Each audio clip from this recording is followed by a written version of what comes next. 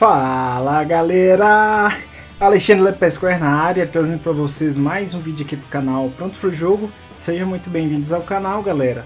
E o vídeo de hoje, galera, eu queria falar um pouquinho de, com vocês sobre uma patente da Nintendo que saiu hoje no dia 11 de agosto de 2016.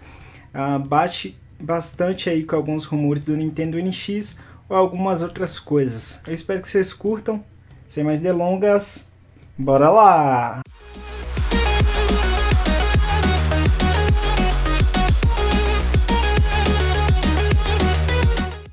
Bom, galerinha, basicamente saiu uma patente aí que foi registrada em janeiro de 2016, mais precisamente no dia 29 uh, de janeiro de 2016, e foi publicada agora, veio ao ar, né, no dia 11 de agosto de 2016. Essa patente eu vou mostrar por alto aqui para vocês, ó. Tem um dispositivo uh, mobile com uma câmera de infravermelho e tem um acessóriozinho com botões que você pode estar tá ligando na lateral do seu dispositivo mobile, provavelmente para você ter os controles para manuseá-lo né, e poder jogar algum jogo. É, eu vou resumir aqui, ó. aqui tem algumas figuras, né?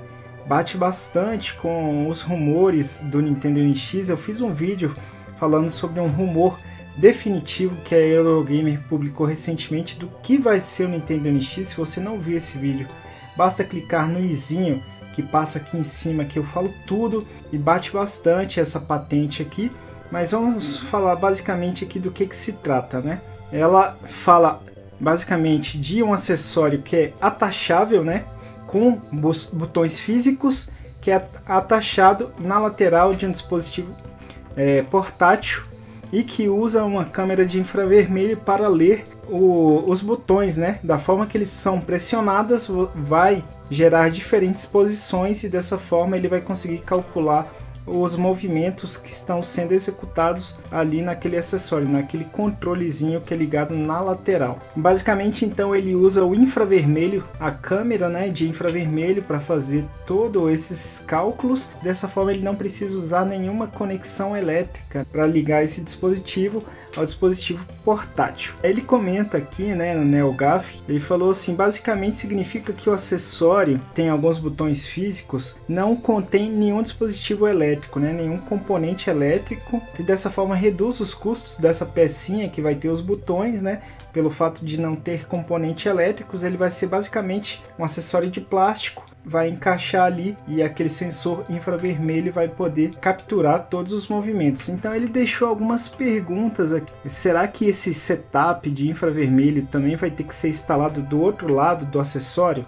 Se tiver que acontecer, provavelmente vai encarecer esse acessório que vai nas laterais, né? Aumentaria bastante o custo. Quão rápido o infravermelho vai conseguir calcular com precisão os movimentos, né? Eu acho que se a patente está registrada, provavelmente a Nintendo já deve ter feito testes, deve ter conseguido resultados satisfatórios, né, para aprovar essa patente. E sobre os analógicos, a patente mostra a detecção de movimentos rotacionais, né? Será que vai ter precisão para os analógicos, para o direcional? Mas basicamente mostrando aqui para vocês é isso aqui, ó.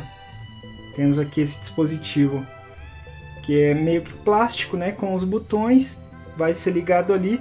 Aí aqui fica a questão, né? Teve um rumor recentemente também que a Nintendo estaria desenvolvendo um controle para jogar em celulares. Então, quem faz todo o controle ali é o software, né? Se por acaso ela lançar um Mario para jogar em dispositivo mobile, o próprio jogo já teria as funções desenvolvidas para utilizar o infravermelho do celular para conseguir interagir com esse dispositivo, com esse controle que é plugado ali ao lado no celular. Ou então isso aí pode ser já indícios do que vai ser o Nintendo NX, né? Vejam o vídeo lá que eu comentei, mas ele pode ser um dispositivo mobile conforme essa fotinha que está aqui é, embaixo do meu nome, onde você pode plugar os controles nas laterais e desplugando ele vira como se fosse um celular ou um tabletzinho que você tem liberdade de usar, sair por aí para jogar Pokémon ou usar para leitura, quem sabe até como celular, não, não sabemos ainda, mas fica esse registro aí dessa patente, dando mais mais indícios do que pode ser o bendito Nintendo NX. Aqui tem mais um, uma amostra, né?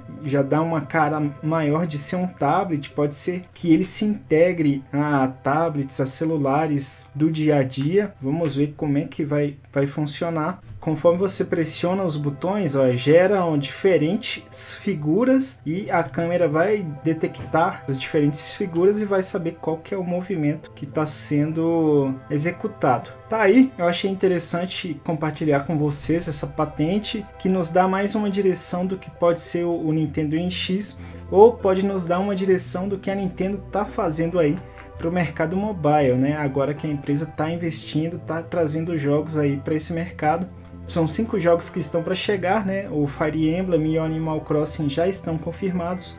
Os outros jogos a gente ainda não sabe do que se trata. Tem aí o Pokémon Go que já foi lançado também, mas não é diretamente da Nintendo, né? Esse aí foi desenvolvido pela Niantic com a Pokémon Company e a Nintendo, por ser dona de 32% aí da Pokémon Company, também está ligada diretamente ao Pokémon Go. Mas é isso, galerinha. Comentem aí o que vocês acharam dessa patente.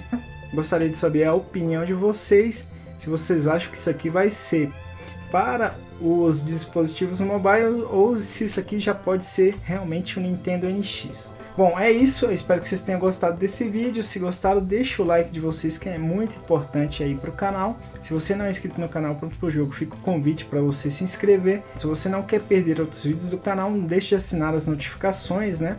No aplicativo do celular tem um sininho que você pode clicar e você recebe todos os vídeos. Se você tiver pelo navegador web, tem uma engrenagemzinha ao lado do botão inscrever-se. Clica lá, assina as notificações de novos vídeos, novas lives. Siga também as redes sociais do canal, Twitter, Instagram, Facebook. Tem o grupo do canal no Facebook também para a gente interagir aí por fora do canal. Vou deixar o link de tudo aí na descrição. Então é isso, galerinha. Muito obrigado por ter assistido o vídeo. Eu vou ficando por aqui. Um forte abraço. Valeu! Fui!